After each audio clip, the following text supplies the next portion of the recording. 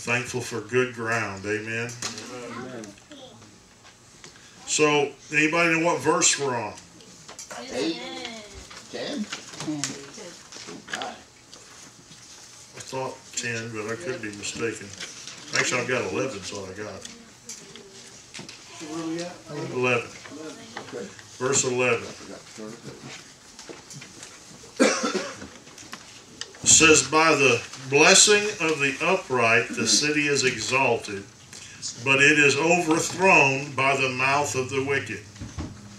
Now, whenever Abraham was interceding for Lot, how many people ended up did it did he need just to save the city? If he could find just what?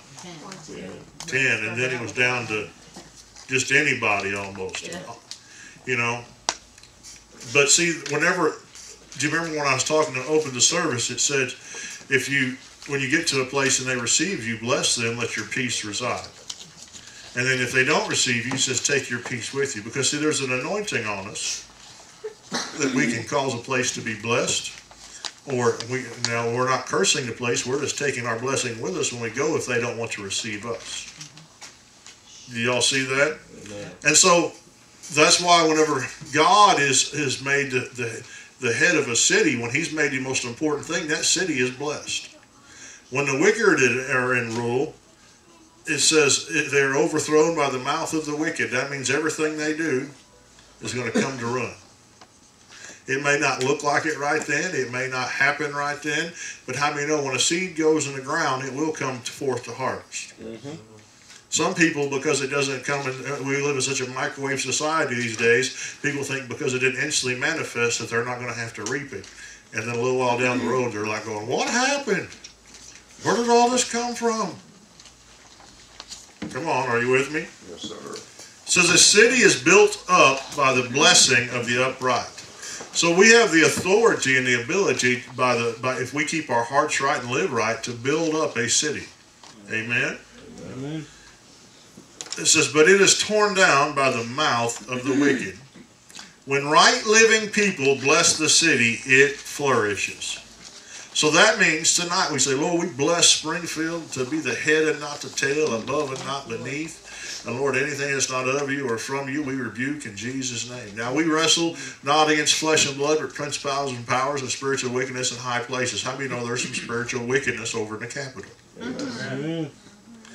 And so, but we have the authority to bless it where things of God can come forth. But does not that does not mean there won't be opposition, right? That's right, man. But we can prevail. But the thing is, I don't think most people realize they have that ability, and most people are staying quiet with their voices. Are y'all with me? Mm-hmm. Amen. For eight years, I lived under the shadow of the Capitol, and I used to sit there and just lob bombs in there all day long.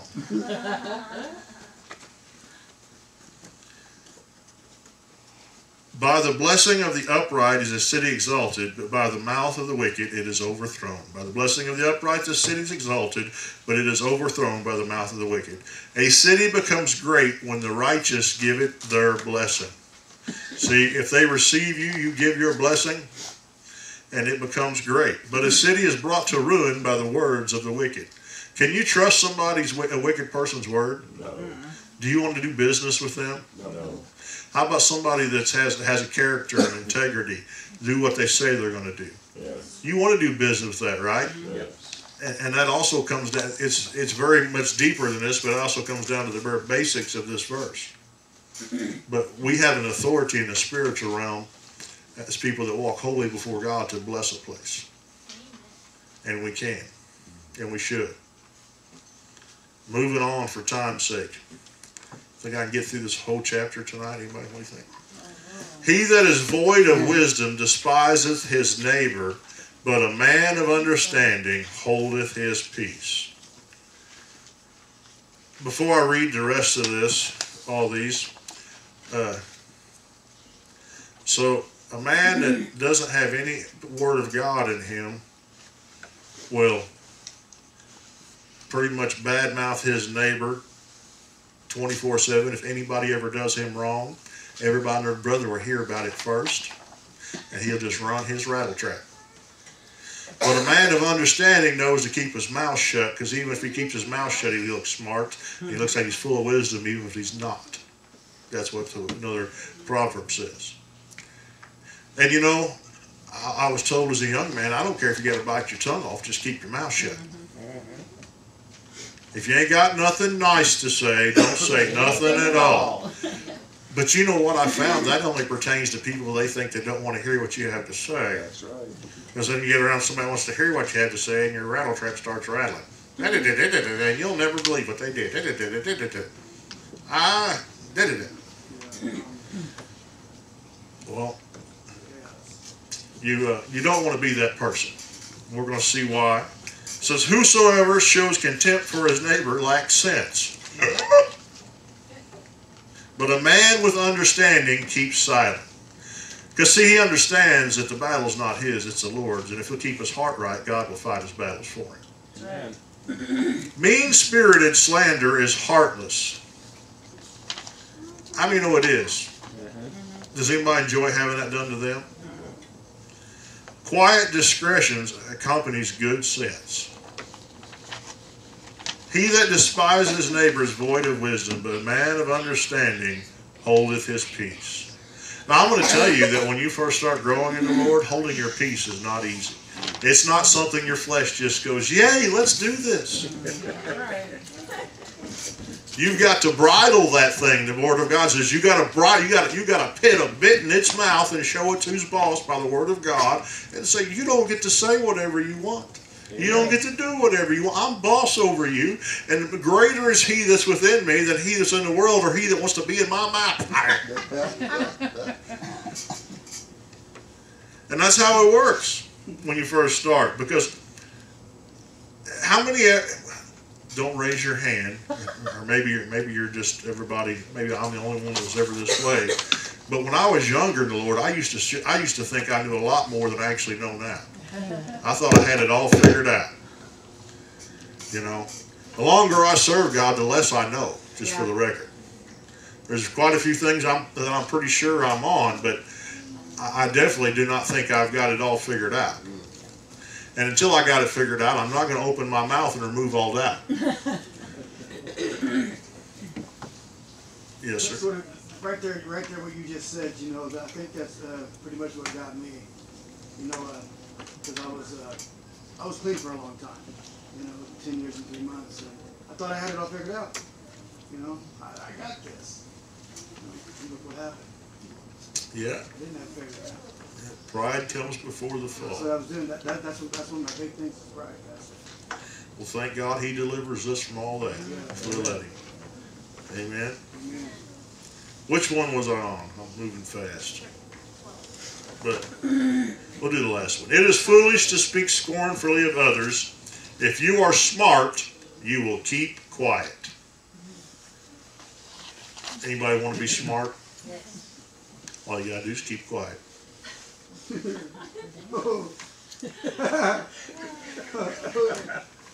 So how do you answer that? I don't know, I know, I thought that- if I say something, then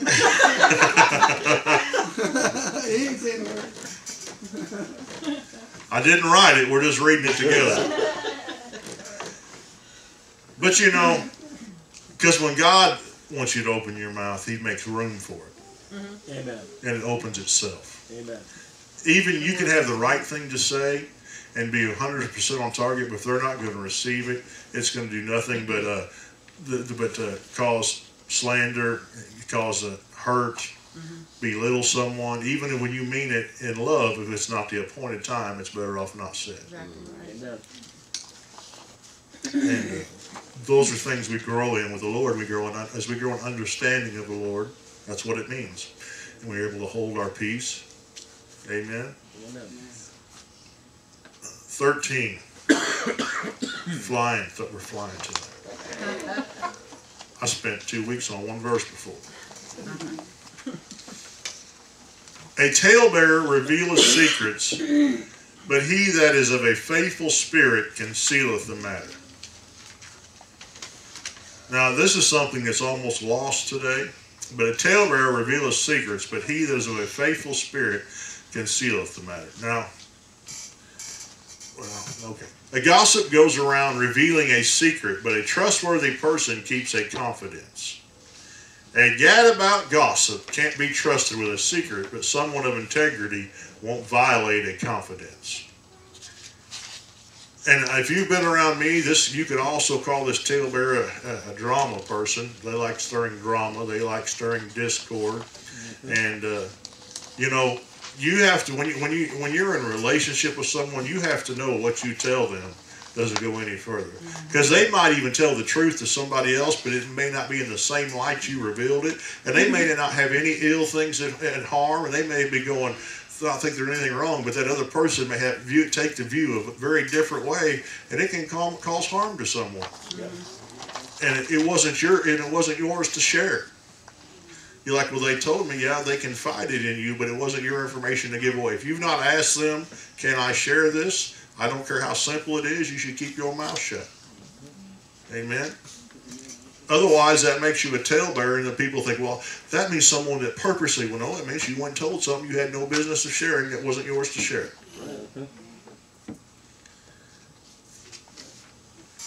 So he that he that goeth about as a talebearer reveals secrets, but he that is a faithful spirit concealeth the matter. That means not only do they not tell, they they do their best to guard it from anybody else. They're not out to expose you. They're out to help you. Now listen, I'm not going to cover up your sin. I'm going to expose your sin to you and God, help you get delivery of it, but I'm not going to expose your shortcomings to everybody else. Mm-hmm. And if somebody comes, did you know this, Pastor? And I'll just change the subject. I'm not going to lie. I'm not going to lie for you. I'm not going to do anything else. But I know how to change the subject. I'm mature enough to keep a, change the subject or keep my mouth closed. But if keeping my mouth closed is going to be what they think can determine for a yes, I'm just going to change the subject because I'm not going to give somebody any admonition about you. So, uh, whosoever goes about slandering reveals secrets, but he who is trustworthy in spirit keeps a thing covered. One who brings gossip betrays a confidence. Is anybody, and that's truly what it is. You know, trust is a valuable commodity. And once it's broken, God, it's not broken forever like the world says. God can restore it. He can He can heal it, and He can make you trust again because you can trust God to take care of things. But until that person is healed, delivered, and changed, you're probably not going to trust them with, with confidential matters again. And you know, once you've broken my confidence, uh, I'm going to put you on, on a on a timeout slip. I'm not going to write you off. You're in timeout to see if you can regain yourself and get your act back together. Do you all follow what I'm saying? Yep. And so then it goes on. Uh,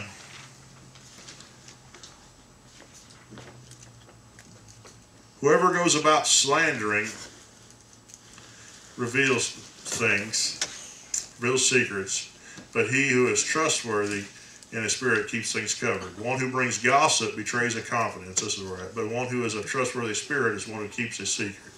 No one who gossips can be trusted. Let me tell you, if they'll talk about if they'll talk about somebody else to you, they're they're talking about you to somebody else. And people that like to talk about other people don't need to come talking to me. Mm-hmm. Period. And if you've got that, I'm just going to tell you you need deliverance from it because it's going to harm you from growing in that area. Amen. And because they can be trusted, no one who gossips can be trusted with a secret, but you can put confidence in someone who is trustworthy. Now, how many of us Christians, as believers, we need to be trustworthy? Yes. We need to be somebody that they know when they come to us, it's not going no further. Amen. And I'll tell you, as pastor in this day and time we live in, especially this digital age, you know, sometimes it can be difficult because with text messages and with all these other things, it, it could happen where something was said or done that you didn't have much control. If you don't know what I'm talking about, then good. Praise mm-hmm. God. You've never had to do it. But how I, how God has led me to deal with it, He said, whoever, whatever you're talking about, the other end, you should have no problem ever letting just handing your device over to the other individual and say, well, here, read it for yourself. What was going on? Exactly.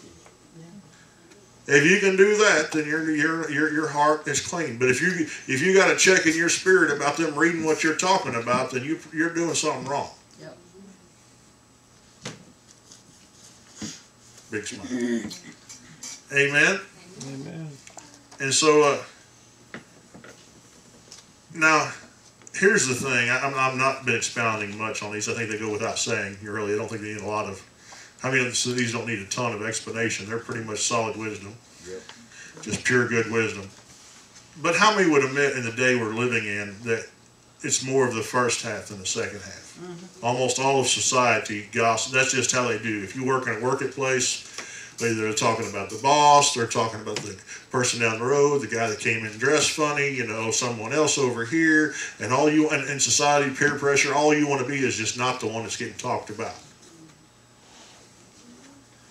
But if you're more concerned about what God has to say about you than what people has to say about you, you'll change and you'll walk in love. And you and, and, and, and you can walk in love to such a place. And trust me, I know I've done it for a long time, where they'll come talk to you about matters of the heart that matter because they know you're not going to talk. And they'll come to you to pray, and they'll come to you to do something. But if the, if you if you were in there just laughing about Jim Bob and Jolene, they're not going to trust you when their world's upside down. Amen. Amen. Amen. That's right, Serenity. Verse 14. I probably quoted this verse a million times inside counseling sessions because there's something in the world today where nobody wants to be accountable to anybody else. I'm your own. I'm my own person. I'm doing my own thing, and I don't owe you nothing. If I come to church here, fine. If I don't come to church here, fine. If I do this, fine. If I'm working here, it's just to bless you. When if something better comes along, then I'm out of here. I don't need. I'll take. I'll take your advice, but if I advice I can I can give or take. It doesn't matter. I've heard you out. Now counseling's kind of the same way, but how many know when you're taking someone's advice, sometimes you're just waiting for them to stop talking. Come on.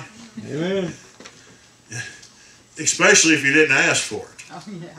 But sometimes you'll even ask for it, and as soon as they start saying something that you don't agree with, you all you hear is oh, yeah. oh, you're done. Oh, thank you. Charlie Brown's mom. But here is this: it says, "Where no counsel is, the people fall."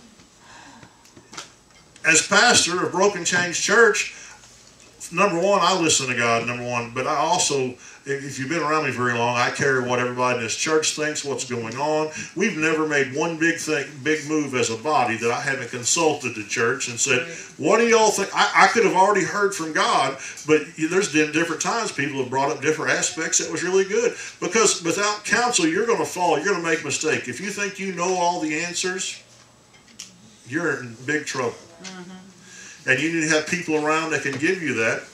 But uh, so it's not if you fall. If you decide to just do it your own way and never listen to anybody else, you're look, you're just waiting to make the big smack. It says, but in a multitude of counselors there is safety.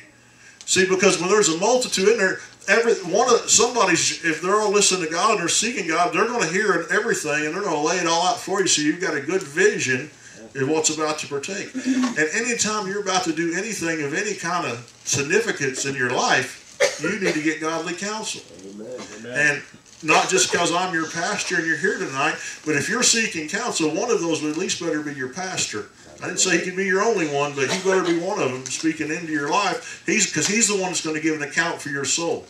It amazes me people go and hire life coaches and they go to their friends and they go to Jim Bob, this pastor over here and that pastor over there because they want to hear what they want to say. But the one that's going to answer for them, they never go and talk to them. They never say, "This is going on in my life." It's what I'm thinking about. What are you, what are you hearing from God? Now, if they think He's going to agree, a lot of times they will. But if they think there's a chance that they won't, they'll go talk to everybody else. Till they find the answer they want. And and listen, I'm not trying to make this about me, but I'm trying to say this is what's com- what I'm describing is what's common today. And we see people falling all the time. And I didn't say just go do exactly what your pastor said. You know, there's sometimes those mimes are funny. I really made a mess now. I'm gonna go do what my pastor said the first time. You know, that's not what I'm, I'm saying. He should be one of the ones you're seeking in a multitude of counselors. Amen. Amen. And by the way, they all have to be believers, in case you didn't know that. And they to be mature believers. So, without guidance, people fall, but with many counselors, there is deliverance. With good direction, without good direction, people lose their way. The more wise counsel you follow, the better your chances. And how many know the more you seek counsel from your pastor, different things, the better off you know, it's going to be because you're going to hear the voice of God. Now, listen, if I don't have, I'll give you what wisdom I have, and I'll give you what the Word of God says. And if I have anything prophetic, I'll give that. But I'm also not going to work it up. I'm not going to tell you, well, thus saith the Lord. If I don't know, you're going to say, I'll hear, I'll say, well, this is the what I hear and see from the Lord, and then I'm going to pray with you that you'll get wisdom on the matter. Amen. Amen.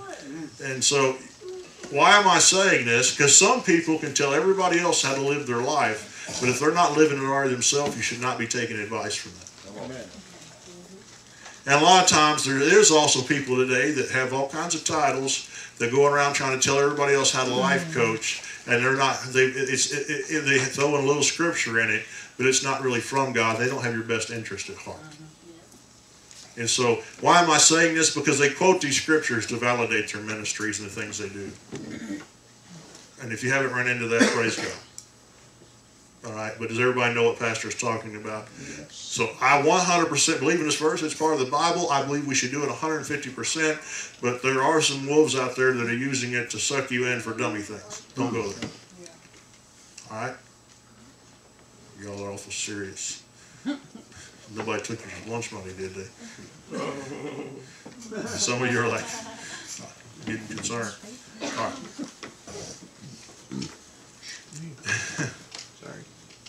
Where there is no guidance, the nation falls. But in the multitude of counselors, there is victory.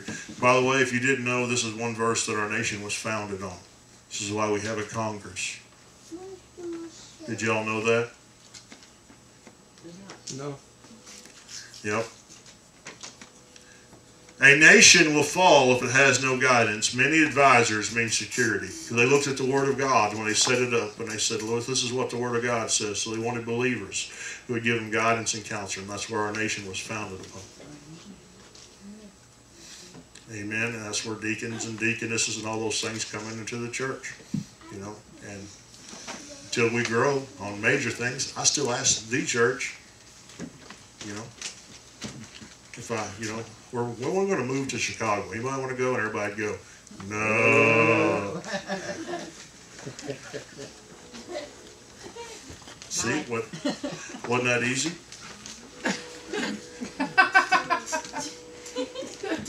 Did you receive the good counsel? Yeah. I believe we've heard from the Lord. No Chicago. What was it? Number 14. Oh, we already got that. 15. He that is surety for a stranger, stranger shall smart for it, and he that hateth suretyship is sure. Don't co-sign for your brother, sister, uncle, Jim Bob, or anybody else. Don't put nothing you have up for anybody else. Don't stand in for somebody else. Let them be surety for themselves. Let them learn how to take care of their own money, and don't be trying to su- uh, support them or encourage them on because you're going to put yourself in a mess and it's going to cost you. Yep. That's right. That's the word of God. And it can continue to cost you. Yeah. If someone puts up security for a stranger, a lot of people say, well, he's not a stranger. Uh, this isn't the only verse on, on co-signing. Trust me, he's talking about. So if he puts up security for a stranger, he will suffer for it. But the one who hates such agreements is protected. So if you hate, and there's another verse that says that the borrower is slave to the lender. Now, did God say we were going to hell if we borrowed money? He did not. But this pastor will tell you that you're going to be a slave. It's going to own you until that loan is paid off. And you have to decide if you're willing to saddle up and literally be a slave to that thing. So am I telling you that you can't? No, I had some people once they first started when I first started teaching on this thought, he's teaching you can't borrow money, you can't do that. How are you supposed to get anything? Well you're supposed to save it actually. But just know that you uh, you'll be a slave to the lender. Nobody I don't want to be a slave to anything. And I've had to borrow some money, and guess what? I was. I was a slave to that thing until the moment I paid it off. But here, if you'll hate co-signing and trying to support somebody else's debt, here. And what makes it easy if you if you hate having any debt yourself, if you hate having hate hate having debt yourself, you sure am not going to go and uh, help somebody else get debt. Yeah. Right? And it'll leave you. It won't put you in a mess, and you'll be sure you'll just lead a peaceful life. Whoever deals with strangers is sure to get burned. I, I can't tell you how many times, and it's sad, really. It's not funny at all. But I can't tell you how many times throughout the years as pastor that I've seen someone. I just I continually see people get themselves in bad places, co-signing for somebody else, and they get burned, and then they go to God. Where God? Where was God at? And I'm like, well, uh, you probably don't want to hear this right now. And I don't always tell them. I don't. I, y'all know me better than that. But Proverbs chapter 11, verse 15 says you're going to get burned if you co-sign. I thought that was a pretty good red flag. If you'd have read your Bible and got some wisdom, you would have never signed on the dotted line. You should see people that when they're just learning, getting in the Word of God, when you quote this verse to them, they act like you got three heads. They're like, that's not in there. He didn't say that. That's not what he means. He that is surety for a stranger shall smart for it, but he that hateth suretyship is secure. Whoever puts up security, whoever put, sometimes see they even want you to put up security, something you own, not just your name. They want you to put up your house, your car, your boat for a stranger will surely suffer. Does it say he might suffer? No, it's surely. So that means even if it pays off, this is going to be a painful experience for you. Can anybody that's ever done it before testify that it was a painful experience? So there's no ifs, ands, buts about it. I want you to notice that in the Word. He doesn't say that you might, He says you will. Yes. Even if they pay it off, it's still going to be a pain. I'm so glad that God even cares about the small things. Isn't that cool? Not that it's too small if you've ever had one of those things strangled around your neck. Sure. So then it goes on to say, But he who hates striking hands in pledge is hmm. secure. That means I'm not going to. You know, used to you could just shake your hand and the deal was done. Yep. But how many know the Bible says a man keeps his word to his own hurt? Yeah. So let me tell you, I ain't putting my hand to your hand until I've prayed, I've heard God, and I've got the peace of God. I'm not even going to loan you no money. I ain't co-signing for nobody, so there you go. But before we enter into any kind of shaking of hands, I'm going to make sure I've heard God. I don't enter into anything lightly.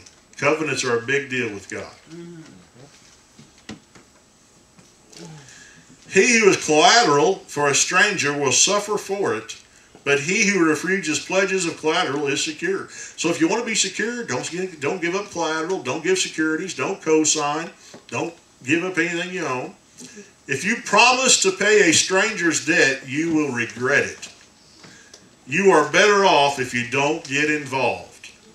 How many know if you don't get involved, nobody can be offended? Right. Well, Pastor, they've asked me. Oh, okay, they ask you. Just say, well, I, I don't do that. And if you don't do it for anybody, it makes it easy to say no to everybody, right? That's right. If you don't do it for anybody, it makes it easy to say no to everybody. To go, hey, I, uh, I don't do that. In, in Proverbs chapter 11, verse 15, the Lord's told me I can't. And uh, he said, well, he actually didn't tell me he can't. He said I wouldn't want to because it'd be really painful. I don't like pain, Yeah. so it's nothing against you, but I'm not going to do this. And you'll be, those kind of look at you. Big old eyes, dumbfounded. And they just walk away. They don't have nothing to say. Somebody says, you act like you've done it before, Pastor. I have. Lots. 'cause- 16. A gracious woman retaineth honor, and strong men retain riches.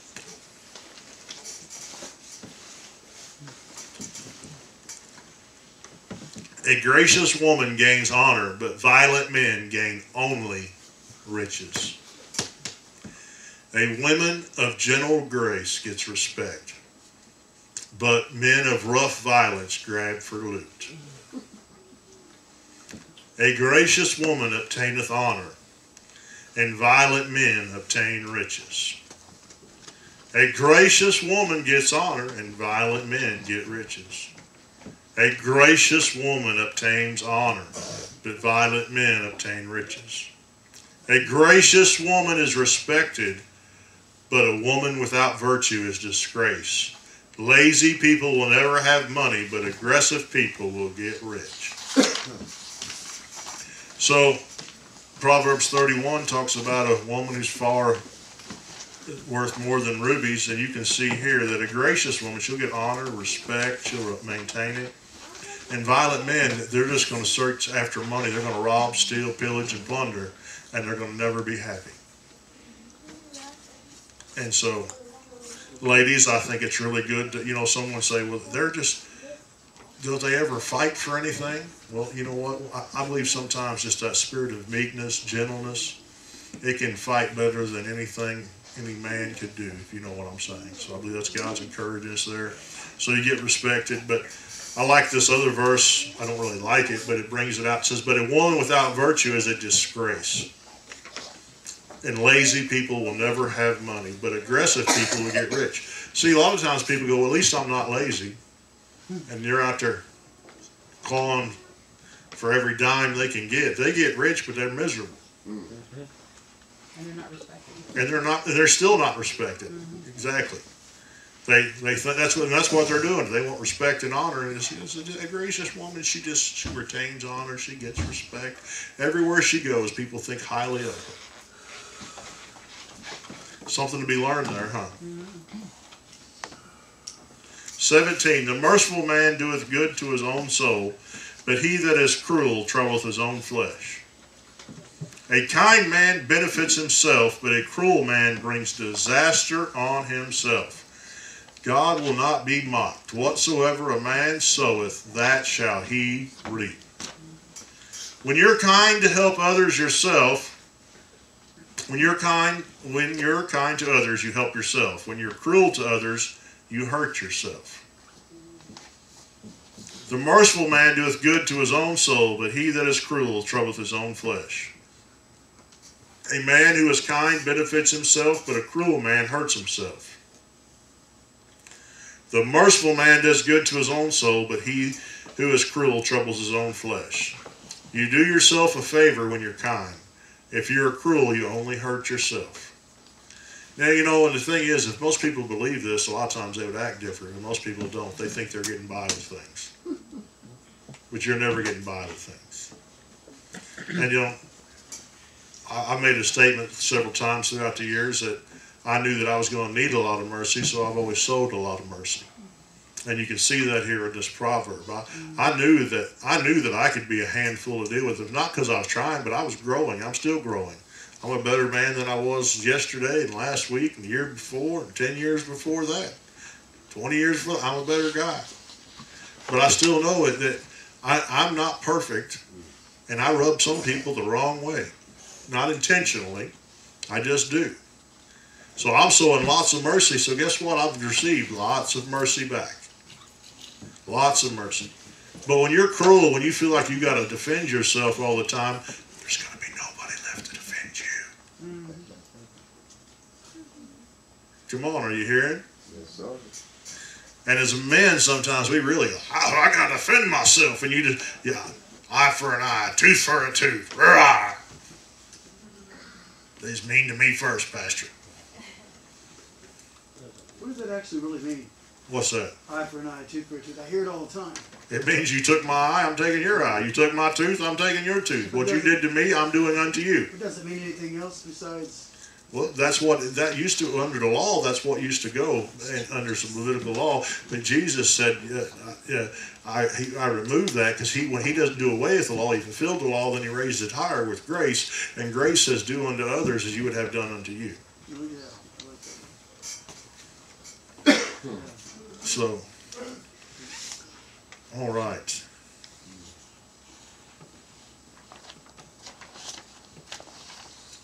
Think we're going to stop there for the evening. I got through quite a few.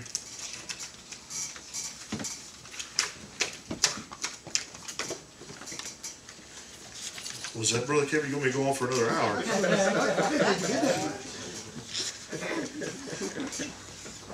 I want to, but I want to have some uh, feet. We, we covered a lot of different topics. I mean, we, we the, these these verses are they're not a lot of times they're cohesive and they flow together. These verses are just one thought to the next thought to the next thought to the next thought. And so I'd like to, before we lose all those thoughts, I'd like to hear what you all got from tonight. Sister Heather, Keep your mouth shut. keep your mouth shut. Sister Becky, If you keep your heart right, God will fight your battle. Amen. Good stuff. When you were talking about uh, the, the wicked man or the cruel man hurts himself, anyone who's usually a fighter has a target on their back. Because if somebody knows they'll fight, they'll fight. You know. Yeah. Amen. Very true. And that goes, I mean, just, arguments even. Yeah. You know. Yeah. I've seen that, and God's just looking us to. Bible says a gentle answer turneth away wrath, and that's part of being that kind and generous person. I have a problem sometimes that I want to get in, you, talked about it, son, that I want to get involved with what's going on with the other people. Like, like you were saying, he done that, she, he done that, did you hear about that? Sometimes I just want to get involved and just say something. And sometimes I do say something, Pastor, and I shouldn't do that. See, I'm knowing that now, just to stay out of it. Yeah. If it doesn't concern me, stay out of it. Even if it does concern me, of course it's stay out of it, right? Yeah. Just give it to God. Yeah. He can take care of it way better than you can. Mm-hmm. Amen. Amen. Sister Shaw, You have the authority to prevail. you have the authority to prevail. Amen. Good stuff. Learn to take godly counsel so you won't get yourself in a mess. Amen. Ooh, Amen. Good stuff. That was great. that was great, I like that. Uh, just being reminded we have authority in the spirit- spirit realm to bless our city. Yeah, I like that. Amen. Good stuff. Wow.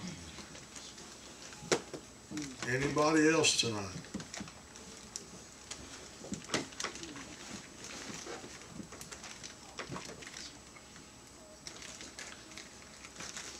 Brother John. Don't speak until God gives you the, okey doke. Amen. Amen. And, Amen, that's and I'll add to that a little bit. And uh, after you've been doing all these things for a long time, you don't you don't have to like consciously think about them. They become part of who you are. Which means that sometimes people will pick something up on that you've forgotten about that you're doing for a long time. It was a few years ago, someone had made a statement about me and they made it to me. It was about me, they made it to me. And it was really a compliment, but at first I didn't quite know how to take it because I didn't realize that I was even doing what they were saying anymore. And they, they said, Pastor, you really choose your words very carefully. And uh, and I said, Yeah, I do, but I'd forgotten there was a time in a season of my life I did. Now I don't do that. I do that out of these scriptures learning. I learned these verses, and I learned that words mattered. But I didn't. You know, at first I had to train myself. But now it's just part of who I am. Before I even, and you, most of y'all know this. I'm sure when you come ask me something, I don't just tell you the first thing that pops off my head. I, I kind of pray for a moment, meditate in my spirit, see what the Spirit of God's saying, see if I got anything to respond to that or what the Word of God says. I found that when you say the Word of God, you can't ever go wrong as long as you say it in love. Right. Now, I haven't met a few people that gave the Word of God and it wasn't in love, and it was about as sour as a persimmon. Because they were, wasn't really the word, they were Mean twisted. yeah. Yeah. And when you, when when a lot of times when when the Lord will um, I don't know how I want to word it, uh, possibly inspire you to, to, uh, or use you to correct someone in love, a lot of times they come back at you with the word God to point out something you're doing when what you're doing has nothing to do with the situation. Yeah, that's why let's choose to love them anyways. Yeah, Yeah. Love covers a multitude of sins. yeah. That's a choice.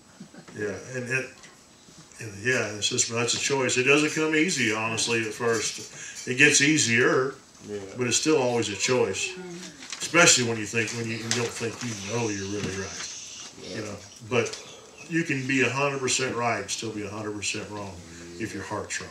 Right.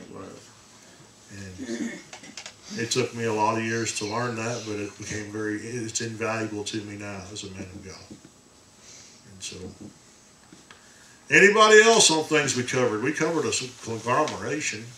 Pastor Tema. Um, uh, that a man of understanding will keep silent or hold his peace, and if you keep your heart right, God- God will fight your battles for you. Yep.